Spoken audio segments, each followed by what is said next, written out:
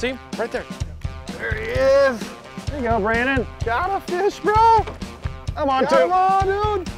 It's a shallow water adventure for Captain Brandon Simmons, who makes his way to the southwest coast of Florida and onto the front deck of Ozzie Fischer's first gen 26 foot Costa Custom boat.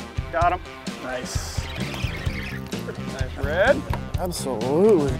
Redfish and snook are the targets for the guys. Get a bait in there while it's hot. Don't tell me twice, bro. and we also learn more about how Costa Custom boats are made with a trip to the factory in Clearwater, Florida.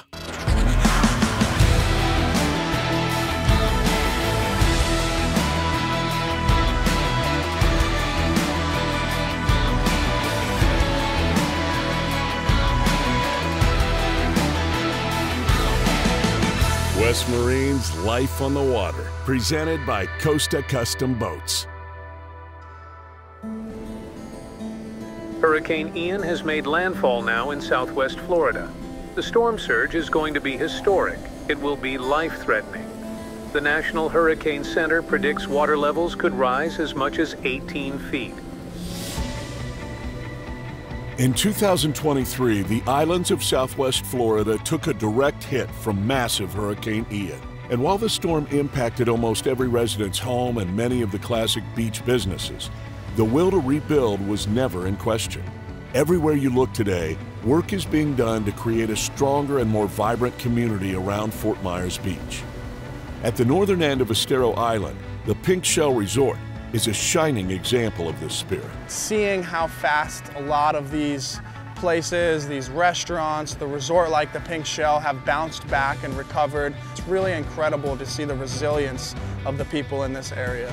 In fact, all the species of life have been rebounding as nature's resilience is exemplified in the redfish and snook populations along the flats that stretch north past Sanibel Island to Captiva and Boca Grande.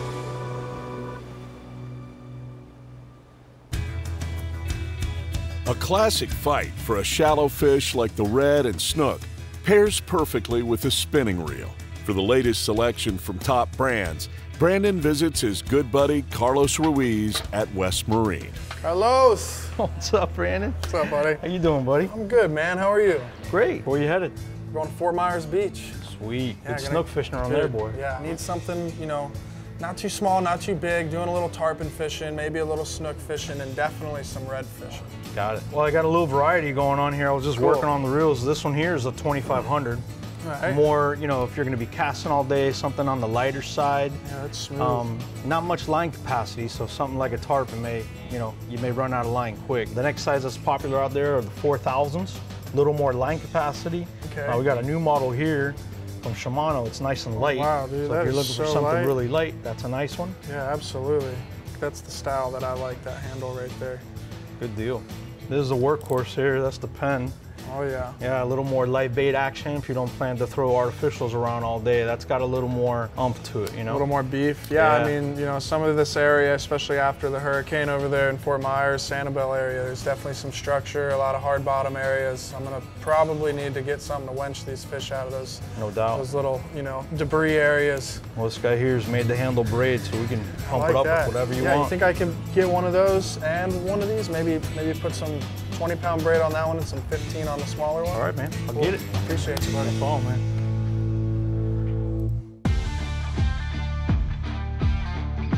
We're gonna double up. Cast it as far as you can, that second bar. That boy, there he is.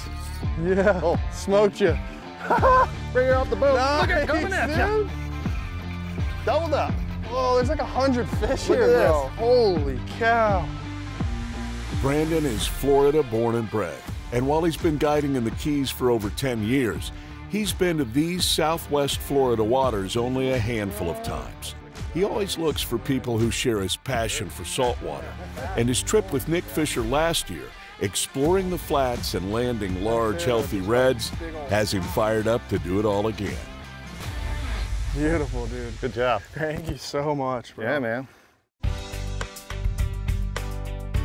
Nick Fischer's brother Ozzie is also a guide, and the two brothers grew up fishing with their father, first as mates and now as respective charter captains for inshore fishing. Using the Pink Shell Resort and Marina as home base, Brandon is going to spend time with Ozzie on this trip and see how the fish population has recovered in the 12 months since the hurricane. What's going on, Ozzie? Hey, Brandon, how you doing, man? Good, man. Good morning. Good to see you. You as well, bro. You as well. Welcome to the area. That's right. Back in the Pink Shell Resort, dude. Yeah, great place to be. Oh, yeah. Nice it's back open. It's a little chilly this morning. Very chilly. Yeah. First big cold front of the year, so we'll definitely have to work at it. I ain't scared of some work. Let's get after it, bro. All right, let's go. Cool, man. I was raised here. My dad was a charter captain out of Captiva Island, so I grew up on the water. I've been here my whole life. I'm 51 years old, so I've, I've been on, I've had a fishing pole since I can stand. All right, Brandon. So what we're gonna do? This tide's still going out. Throw it out. You're gonna feel it roll. Bop, bop, bop, bop. Hard bottom, muddy bottom. There you go, Brandon. Woo, there he is, bro. Nice. We had to start somewhere. Got one. Welcome aboard. Yes, sir. Whoop. Oh, Perfect. perfect release. Great way to get the day started. Yep. West Marine's Life on the Water, presented by Costa Custom Boats, is brought to you by West Marine. No more, get more, boat more. Only at West Marine. Costa Custom Boats. Pelican Kayaks. Smith's Knives, the Edge Experts. Omniscient Systems. Dominate the night. And by Tailwalker, the premier Florida Keys fishing experience.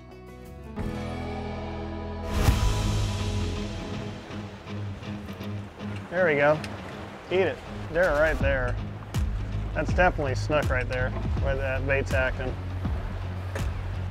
There he is. Got him. Got him on, dude. It's a windy morning with the temperatures just low enough to call for a second layer out on the water. But for Ozzie Fischer and Brandon Simmons, the action is heating up. Nice little snook. Get a start. Oh, there you get a bite. There you go. Oh, he's a A little better fish little than better, mine. a little better. There we go. Woo! There we go, Brandon. Nice. A little better snook. Yeah. Take him, bro. Yeah. Perfect. See how white they get when they get in that So sand? white. They really, He's clean looking too. man. later when we're fishing the flats, they'll get a lot darker up here. But you get them on that beach and this water gets muddy. Even if we catch a redfish here, it'll get white like this. Yeah. There we go. The mighty snook is synonymous with Florida sport fishing, and through careful management of the fishery, the population is more abundant than ever. The Fort Myers Beach area has produced some of the largest snook to be found in Florida waters, with a 44 pound monster caught in 2015. Right. Nice way to get us started there, Cap. You try another spot? I think with this tide coming in, Tide coming in. you can't try- catch a big fish unless you try for That's it. That's facts, buddy. Let's go try one drifting on the other side. I think we're gonna fish the flats. I'm willing to try if you are. Oh yeah. These are the first cold fronts we're seeing this year, and anytime you get a big change in water temperature, you know you're gonna have to bounce around. You know these fish have moved from where they were last week to wherever they might have moved with this cold water. Ozzie's been doing this long enough that, you know, this isn't his first time. He's had to deal with cold fronts and changing conditions. I'd throw it to the border, a little bit to the right in that sand. Just laying in there for warmth or what? Yeah, finally get a little bit cleaner water. cleaner water. Warming up a little bit. There. Oh, got him, bro. Nice. There we go. When our water's up high, we like to fish around oyster bars and around these islands, but uh, with these cold fronts, it drops so much of the water out. What we're doing is having to fish off the edges and what's called potholes, which are depressions. Just kind of working through those potholes, trying to find which hole's holding the fish. There you go, nice. Look. Thanks, bro. Thank Not you. a bad one, brother. Good looking snook, man. See if there's a couple more laid up in there. We're gonna find out. We're doing a couple things today. We are fishing live bait and artificial baits. There he is. There you go, Brandon. Got a fish, bro. Artificials, we're throwing top waters and gold spoons. Hey, Margie, that's a nice one there. Whoa, little jumper. Oh, oh. oh. oh. I'm on to on, dude. A little better one there, huh? Yeah, I ate a pinfish. Oh, yeah. The gold spoon is really probably my favorite for artificial. It's a really good way to cover a lot of ground, kind of locate the fish. And then once you locate the fish, if you want to put, get them on bait or just keep throwing artificials at them. Oh yeah, that's a good one, dude. Yeah, nice. Oh. Let me grab him for you. Yeah, that'd be great. I, I get them. Got him. Yeah, grab another bait. Get a bait Yeah, in there I'm while it's hot. bait in there. Don't tell me twice, bro. Dude. You got him on the tail hook pinner. Yep. There's really some big snook again in this bar. Setting out from the iconic Pink Shell Resort and Marina, it's a new day for Captain Brandon Simmons and Captain Ozzie Fischer. After exploring the southwest Florida waters for snook yesterday, today they are targeting the redfish under bluebird skies. Man, it's nice that that wind came down. See a dark grass and then these holes. Mm-hmm. These fish, the depressions are always sand. So that sand warms up, holds a little more warmth. So they're just in there laying in there getting warm. warm and uh, to feed too, the ambush stuff, because you got to picture the grass sticks up and then that drops down. So the bait fish feel safe right here and they'll venture out and they just come up and grab them. Yeah.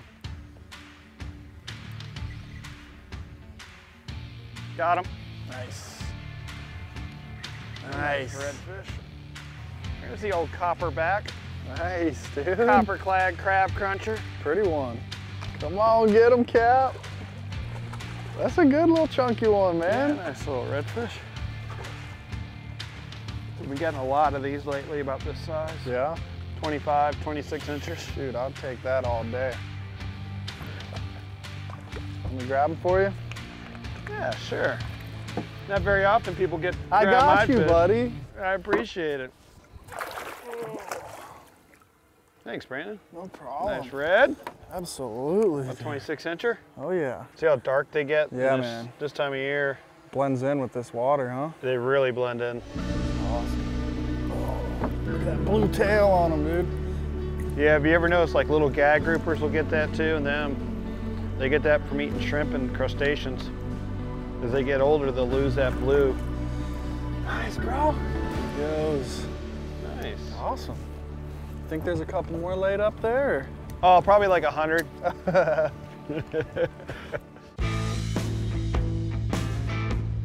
Ozzie Fischer's been bringing people out onto the magical waters around Sanibel and Captiva Islands for years. And he's been doing it in his 26 foot catamaran that was the genesis of Costa Custom Boats. Based in Clearwater, Florida, Costa Custom Boats has expanded into larger vessels that can carry anglers and boating enthusiasts to just about anywhere they want to go. Costa's been working with Ozzie now for about five years, and we chose to work with him because he had such great notoriety in the Fort Myers area. He's a second generation captain down there, and we got a lot of respect for what he does. When we sea trot him on the 26, he realized that it was much more capable than any other platform in that class that he's used. And he's put thousands of hours on the product and shown customers what it can do both inshore and offshore. And what's important about the construction of both the 26 and 34 and our future models that we'll build here in our assembly department is that they're three-piece boats and when putting together those three pieces we have a significant amount of bonding surface both down the entire hull side and down the tops of our tunnels which gives you the best possible strength that you can get when you're putting these boats together so that when they perform at their higher speeds at 70 plus miles an hour, it's a very safe and structurally sound vessel. Brandon Simmons has utilized Costa Custom boats for just about any saltwater activity. From freediving to hauling kayaks to hauling in sailfish, the line of boats from Costa Custom has been more than capable. As we design new models like we did with the 34 and as we're working on our 44 right now, we involve our top leaders and our manufacturing staff to make sure that the quality product that we're going to produce for our customers carries over to producing a quality manufacturing process as well. All of this material, both the fiberglass and the core, is all CNC cut, and the reason that we do that is to ensure consistency in both structure and quality from each vessel to the next. All of the little details to us are very important with that first model and with our future models. Since the 34 is going to be primarily an offshore vessel, you know, the dead rise of that boat changed and the running surface to give you a soft ride in rough water so you can fish on even more days. We also started to bring the custom sport fish finish into the interior of the boat. So going with all fiberglass compartments, nothing starboard or acrylic, recessed mounts, all blind fasteners on our T-top. Those are the things that are important to us as we design the 34 and as we're working on our 44 foot model right now. This customer selected, uh, you know, specific gel coat colors and a color combination that's really gonna show very well on the water. It's a beautiful light blue. It's gonna be a twin engine power package and he's got 24 inch Simrads up on the dash. It's a full electronics package on this one. The boat will be fishing out in Louisiana and Mississippi for tuna and wahoo. Bringing our 44 to market will continue to solidify Costa as a timeless brand in the custom boat market. A boat that is truly custom. The Costa Custom will get you to the good water time after time.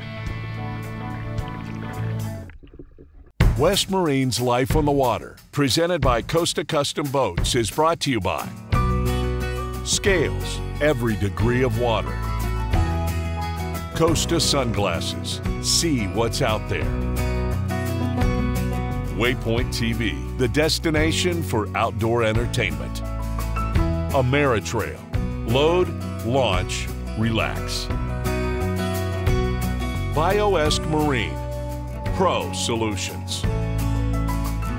And by the Pink Shell Resort and Marina.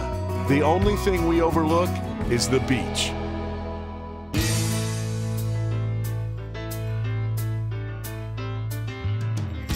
There we go. Now trout. Yeah. Nice speckled trout. Yeah, for sure, man. Under less than ideal conditions, Brandon Simmons and Ozzie Fischer have been discovering that if you put yourself in position, the fish are ready to bite. And a sea trout is a beautiful reward for the effort. Nice trout. For sure, man. I think it's our prettiest inshore fish. I agree. You know the spots, yellowmouth, Oh, yellowmouth. oh yellowmouth. That's right. That's That's awesome, man. Right in the corner of the mouth. Yeah, perfect. He hammered that spoon. Yeah, he did. Nice. Pretty fish. All right, well, we're getting a couple hits on these spoons. We'll just keep working them Yeah, for a little bit. sure. I Love Nice. to see it, man. Those things are so pretty. Well, that gives us the slam. Yeah. Snook red and a trout. That's right. Got Hey, the slam. No complaints here, buddy. A lot of the inshore fishery is typically catch and release. These fish are important to us in, in the state of Florida. They're important for our, our charter guides, you know, they're important for me, for our next generation, for my kids to be able to come out here and catch these fish. Big snook. Nice snook. a pretty big snook right there. They're up here. So we got to take care of them, you know, and a lot of what we do on the inshore side of things is, is catch and release. You know, we like to go have fun with these fish, but safely release them back into their natural habitat. There's a redfish. Yeah? Yep. That way they can continue to grow, continue to spawn, and continue to give us these lifetime of adventures on the water. Oh, there's fish following me. Redfish right behind me. Big, see the big red right behind it? See him? Right Yep, there. Yep, yep, yep. Big redfish. Oh, you ran from it. Little red. Little big red followed Yeah, the little man. red. Oh, that was a big redfish. I followed a little redfish. Nice. Look at this. Look how blue that tail gets. That's crazy. Look at that blue. Nice. Nice. I'd rather we'd rather have the one that was following this. That was a big redfish. That was a big one. We'll keep going down here. We're definitely. I've had that. We had another red hit and trout. There you go. Nice. There's a better fish. That's a There you go, better one there, man. He came out acting like he was big. Yeah, for sure. The wind went away, the warm weather came out, and Not a bad little snook. no, man. We smoked it. It was a really incredible day of fishing. Just, I'm really fortunate to be able to get out with Captain Ozzie, have a great time on the water, have him show me where he grew up, where his dad grew up fishing, where his brother's grown up fishing. You know, it's a really awesome family legacy that they have going on here in the Fort Myers Beach area. Here we go. Nice little snook there, Yeah, bud. chunky. We got definitely a little bite going on here now. Yeah. It's a good one, man. Got them popping and facing the bait, a few redfish mixed in here. Oh yeah, that's pretty looking snook there, bro. Nice. What a day, dude. This trip has made it abundantly clear that the fish are more than recovering from the hurricane. They're flourishing in these magical flats around Fort Myers Beach.